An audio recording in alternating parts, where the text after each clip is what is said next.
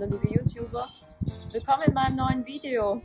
Passend zur Zeit ist es ja ganz toll, wenn man frische Kräuter zum Kochen zu Hause hat.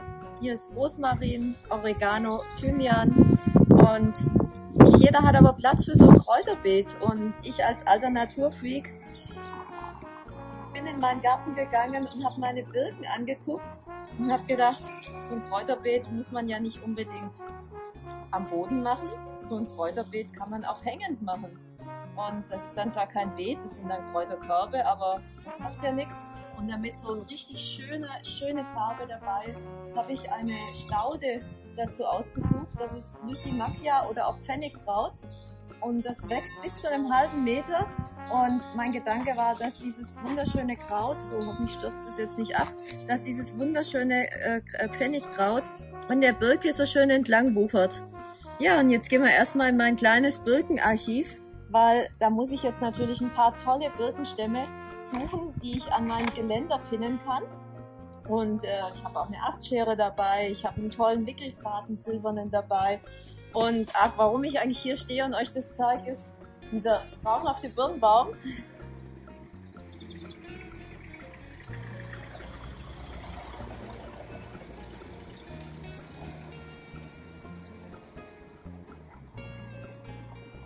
dieser traumhafte Birnbaum, der steht jetzt in seiner allerschönsten Blüte und ich freue mich auch auf ganz, ganz viele Früchte, aber ich musste euch das einfach gezeigt haben.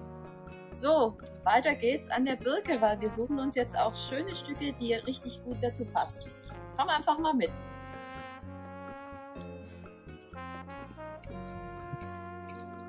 So, unser kleines Birkenarchiv. Ähm, gelagert haben wir die Birken so, dass wir, dass wir, Moment, ich muss kurz das Kabel von dem Mikro weg haben. Ähm, wir stellen ein Stück Styropor drunter zum Lagern, weil wenn die dann in der Erde sind, dann werden die ganz schnell hässlich. Und die Birken müssen gar nicht alle so grad sein, weil ich möchte ja meine Korbhenkel dranhängen und habe gedacht, oh, da kann ruhig mal so ein Halter abstehen. Aber ich möchte ihnen natürlich allen frischen Anschnitt geben und dann sieht es schöner aus. Und ähm, man kann immer alleine arbeiten, wie man jetzt an mir sieht, weil ich nehme einfach die Birke zwischen die Knie und schneide die ab. Und dann geht es, geht es ganz, ganz leicht, die zu schneiden. Und äh, dann brauche ich nicht immer eine andere Person, die mir das hält. Und wenn man natürlich eine richtig gute Astschere hat, dann geht es, wie du hier siehst, wie Butter. Ich habe die Höhe von meinem Geländer angeguckt. Den fand ich auch total witzig, weil das ist eigentlich schon so der Haltegriff für diesen Korb. Ähm, ganz so lang brauche ich das natürlich nicht. Das heißt, ich kürze den auch ein bisschen. Und hier an der Seite, also das kann man sich alles mal schön zurechtstutzen und hübsch machen. Und oh, jetzt kommt gleich die Bewährungsprobe. Aber auch das geht. Notfalls geht man einfach auf den Boden und drückt den Griff von der Astschere runter und schon ist, schon ist alles zerschnitten.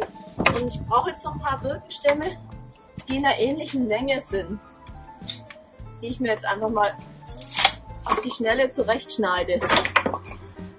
Und schön ist natürlich auch so ein schöner dicker Birkenast. Wenn du besonders fleißig bist, kannst du auch nämlich eine Gemüsebürste nehmen und die Birke nochmal schrubben. Dann ist sie natürlich schön weiß und, und äh, strahlt ganz toll. Die Mühe habe ich mir jetzt in dem Fall nicht gemacht. Aber ähm, es lohnt sich auch. Je frischer die Birke, desto besser hält sie natürlich. Aber so, jetzt haben wir dann gleich. Oh, das sieht auch anstrengend. Wenn jemand sagt, der Job vom Floristen wird keine Mühe mit sich bringen, dann ist dem Wald gefehlt. Diese Birkenstücke nicht wegschmeißen, die sind auch ganz toll dekorativ im Blumentopf. So, und jetzt gehen wir eigentlich mal an unser Objekt der Begierde und werden mal gucken, wie wir die Birkenstücke am Geländer oder wenn du eine Hauswand hast zum Festpinnen, ähm, wie wir das am Geländer festmachen. Da habe ich nämlich einen silbernen Wickeldraht dabei. Den Bestelllink für den silbernen Wickeldraht, den mache ich dir natürlich nochmal ins Video rein. So.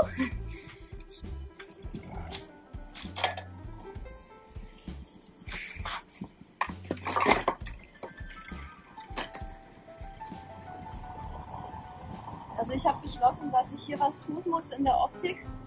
Und bisher hing hier so ein, ein Topf mit einem, naja, mit einem Efeu, aber Der Topf ist jetzt nicht mehr so schön. Und den haben wir auch mit Draht aufgehängt. Eine gute Drahtschere ist unerlässlich.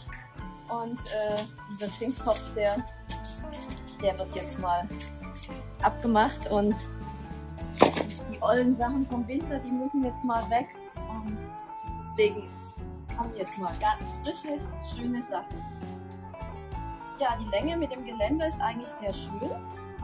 Und ich äh, stelle das auf die untere Kante von dem Geländer, die Birke. Wenn sie hier zum Beispiel ein bisschen höher ist, dann kann ich sie unten anstellen. Ja, das sind eigentlich schon mal ganz schöne Vorlagen. Ich habe hier einen silbernen Wickeldraht. Das zeige ich gerade mal im Video. Wickeldraht ist ähm, fester zum Wickeln als Myrtendraht. Ja, der man ganz toll, ganz toll was fixieren. Und äh, ja, da wickel ich jetzt die Birke an zwei Stellen an das Geländer.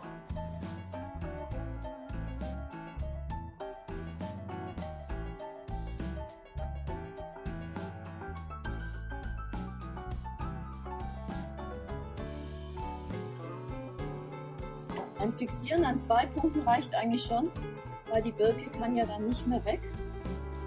Und um die dass der Draht sich nicht mehr lockert. Ich muss gar nicht so oft rumgehen. Dass der Draht sich nicht mehr lockert, verdrehe ich den einfach mit der Birke. So, da gehe ich jetzt nochmal drin rum, weil das ist mir jetzt noch ein bisschen zu locker. Und ziehe das ordentlich fest. Und ich habe natürlich extra einen silbernen Draht genommen, weil zu der Birke, das Auge ist ja immer mit, zu der Birke sieht das natürlich viel schöner aus, wenn der Draht jetzt in Silber ist und nicht in Grün, weil ich möchte den Draht nicht, nicht so gut nicht so sehen, weil mein Spruch ist immer, ich verstecke die Technik. Und die Technik ist natürlich in dem Fall der Draht. Die muss jetzt einfach mal verschwinden.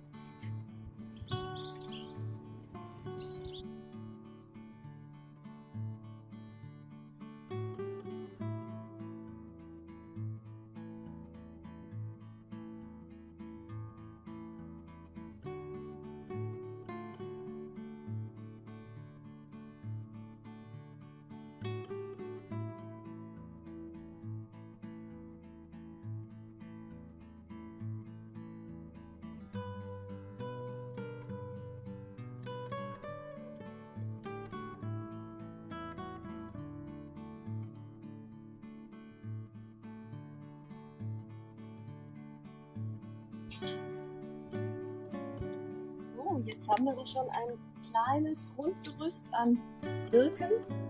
Das ist eigentlich ganz lustig. Man kann das natürlich immer noch dichter machen oder man kann auch weniger Birken nehmen.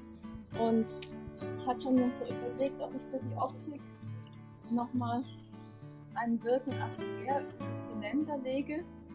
Ich finde eigentlich, das macht es noch ein bisschen stimmiger und verdeckt das Geländer schöner. Das mache ich jetzt auch. Wie so oft, die Arbeit, die ich so machen möchte, die entsteht dann tatsächlich erst, wenn ich, ja, wenn ich am Arbeiten bin. Ich weiß vorher nicht immer, was ich so machen will. Das ist auch ganz lustig, die Sachen so auszuprobieren.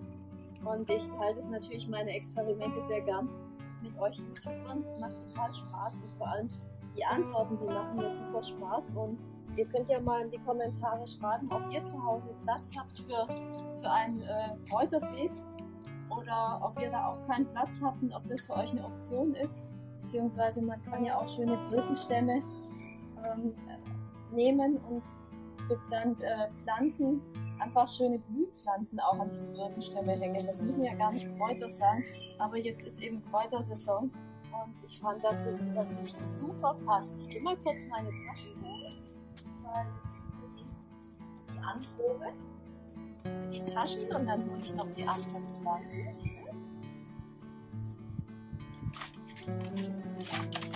Genau, das war nämlich so mein, mein Ansinnen. Dieses wunderschöne frische Grün. Die Kräuter bringen nicht so viel Grünwirkung. Ähm, das alles hier an, dem, ja, an den Birken zu fixieren. Und wenn man hier die Tasche einfach einhängt, super. Genauso ist der Plan. Und jetzt erstmal die Trockenübung dazu. Das sind meine Taschen, die ich gern hinhängen möchte. So. Das sieht doch schon mal ganz gut aus. Ich hätte sogar noch eine, aber ich würde sagen, wir legen mal mit drei Stück los. Das ist eigentlich mal ein schöner Anfang. Und wir gehen mal, ja, wir gehen die mal bepflanzen. Diese Taschen haben eine Folie. Es ist ja ganz oft, dass man so Gefäße mit Folie kauft. Ähm, die Folien müssen natürlich auf jeden Fall Löcher rein. Und dann kann man ein bisschen Drainage machen, ein bisschen Styroporschnipsel äh, oder ein paar Hydrokulturkugeln. Und ähm, dann nochmal ein Stück Stoff dazwischen, weil sonst geht die Erde gleich in die Drainage. Und dann pflanzen wir erst Erde drauf. Und dadurch, dass diese Drainage da ist, haben die Pflanzen eine ganz tolle Belüftung von unten und das Wasser kann ablaufen. Und das ist dann eine fachgerechte Bepflanzung. Die machen wir jetzt gleich mal im Laden drin. Und wenn wir dann mit den bepflanzten Taschen wieder rauskommen, dann werden wir das dem Ganzen hier den Feinschliff geben. Ist gleich in Station. Ähm, wir haben jetzt hier diese großen und kleinen Taschen, wie wir ja gerade gesehen haben draußen. Und ich mache auch, ich mache jetzt auch Löcher in die Folie. Das heißt, ich nehme die Folie einfach hier raus und schneide Löcher rein, ein paar. Und damit dann natürlich die Erde nicht so durchzuckt, gehe ich her und nehme, kannst du eine alte Jeans, irgendeinen Stoff, dann lege ich hier so ein bisschen Ach so, erstmal mache ich natürlich eine kleine Belüftungsdrainage. Also ich mache entweder Styroporschnitzel oder Hydrokulturkugeln. Also nur, dass so, dass so ein bisschen am Boden bedeckt ist. Dann kommt der Vlies drauf und dann kommt gleich die Erde drauf. So, das mache ich jetzt gleich bei allen drei Taschen. Und was ganz, ganz, ganz wichtig ist, vor den Pflanzen immer die Topfpflanzen wässern. Also erstmal schön tunken. Ähm, Gießen mit der Gießkanne hat zu wenig Wirkung. Einfach schön in den Eimer tunken, bis keine Blasen mehr aufsteigen, bis nichts mehr blubbert. Und dann sind die Eimer bestens versorgt, weil ansonsten ähm, ist das nicht so wirksam. Ja, dann habe ich, ich, hab, ich fand es schöner, wenn es drei Elemente sind. Zwei kleinere und ein größeres. Und dieses Pfennigkraut, das ist natürlich ein hervorragendes Kraut. Ähm, das wächst bis zum halben Meter lang und das macht vor der Birke ja diese wunderschöne farbliche Wirkung. Wenn wir unsere Taschen da dranhängen, ähm, das wird natürlich ein optisches Highlight. Und es wird sich auch sehr wohl fühlen. Es ist unheimlich genügsam, es ist eine Staude und äh, bringt diese, diese wunderschöne, dieses frische, tolle Grün, diese schöne Farbwirkung. Also es ist schon so eigentlich ganz toll. Ja, dann bepflanze ich gleich noch die zwei anderen Taschen.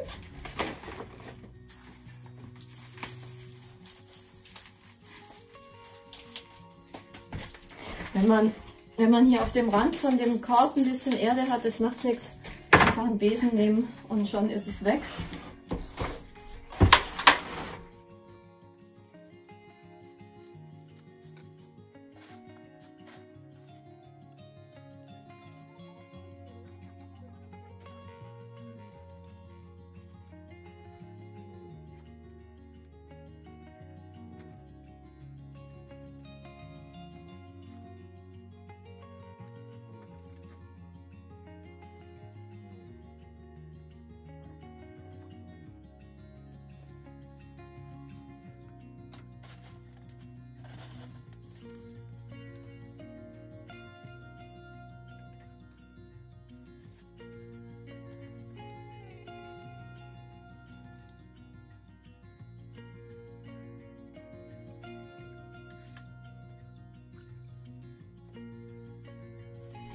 Bei den Kräutern würde ich auf jeden Fall das üppigste in die Mitte machen und die kleineren links und rechts.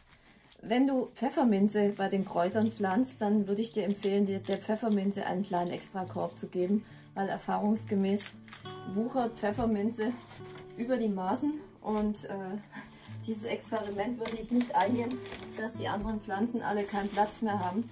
Äh, und äh, am Schluss hast du nämlich einen eigenen Pfefferminze-Korb oder eine eigene Pfefferminztasche. Kann ich dir aus Erfahrung berichten. Ähm,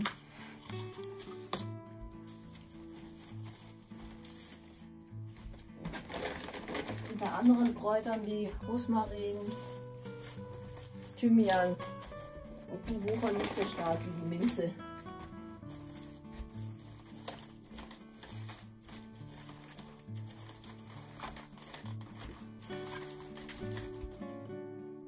Gerade, als ob ich vom Shoppen gekommen wäre, aber Shopping mal anders, nicht mit Einkaufstaschen, sondern mit Kräutertaschen. Oh, herrlich. Und die duften so toll. Ich habe jetzt auch die Kräuter in die größte Tasche reingemacht. Und mein Gedanke war, dass diese Tasche auf jeden Fall hier mittig, mittig das Arrangement schmücken soll. Und jetzt siehst du auch, warum ich eigentlich solche Sachen nie wegschmeiße. Weil man kann ja immer noch auf die Erde Stück Birke legen. Cool, sieht schön aus. So, dann hängen wir noch die anderen Täschchen hier auch ein.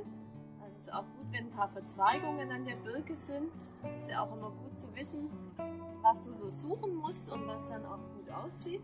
Und die dritte zum Beispiel hier seitlich einhängen. Auch hier ist noch ein bisschen Platz ein bisschen, ein bisschen Birke in so ein Stück. Jetzt noch ein bisschen ordentlicher abfegen können. Oder wenn du dieses Körbchen verschenkst, gibt ja beide Möglichkeiten. Dann ist es natürlich toll, wenn das jetzt mit einem Bändchen verziert ist. Ähm, auch hier kann man sehr schön noch den Draht zum Beispiel benutzen, um, um das Bändchen, ja, um diese Schleife zu gestalten. Und ich habe jetzt ein Juteband genommen und das kann ruhig sehr natürlich aussehen. So ganz lässig wie aus dem, wie frisch aus dem Garten noch geholt. Ich liebe immer zwei Bänder. Oft mache ich bei Grenzen ein Organza-Band und dann noch dazu ein Band, äh, das ein bisschen blickdichter ist oder hier ein breiteres und so ein schmales. Das ist auf jeden Fall eine ganz goldige Kombi.